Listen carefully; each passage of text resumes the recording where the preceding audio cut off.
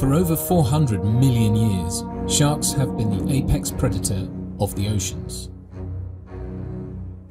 In that time, dinosaurs evolved and became extinct, and by comparison, anatomically modern humans only arose around a few hundred thousand years ago.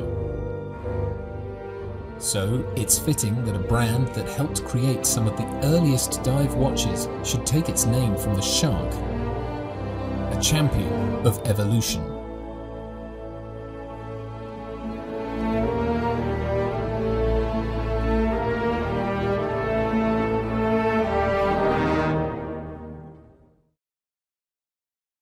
Today, diving watches are the most popular style of watch, but that would not have been possible without Squale's founder, Charles von Buren.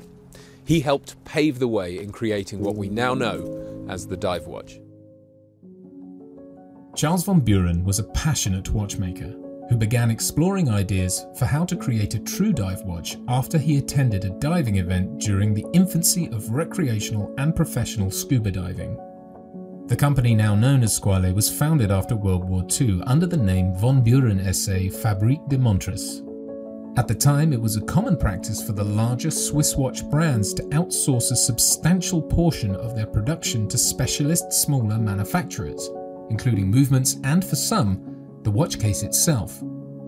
This practice ensured that the finished watch would have a higher level of quality as each of these specialists had a mastery and a focus in one particular area of expertise. And when it came to making dive watches, nothing was as important as the water resistance of a case the watch would be built around. So, Andrea, you've uh, positioned yourselves geographically in Switzerland, but very close to, to Italy. Um, and obviously, you're a, you're, you're, a Swiss brand, but an Italian with Italian roots. I think that Lugano here, this area, mm. is a perfect combination of Swiss making watches tradition, mm-hmm. but in the same time give us the possibility to keep our Italian soul here, mm. because we are very close to Italy. We are Italian. Italy means sea yes. Oh, the Mediterranean Sea with so many different colors. I always, when I go, I love the sea, I love diving, I love swimming. Sure. And when I go, I always see the sea, the different colors. Because like something that I want to, to try after to try in a watch.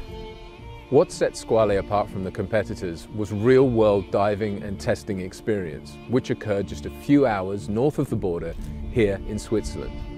An experienced diver, Von Buren excelled far beyond his rivals, relentlessly testing each new watch case in the natural environments of the Mediterranean and here at the renowned Lake Neuchâtel in the heartland of the Swiss watchmaking industry.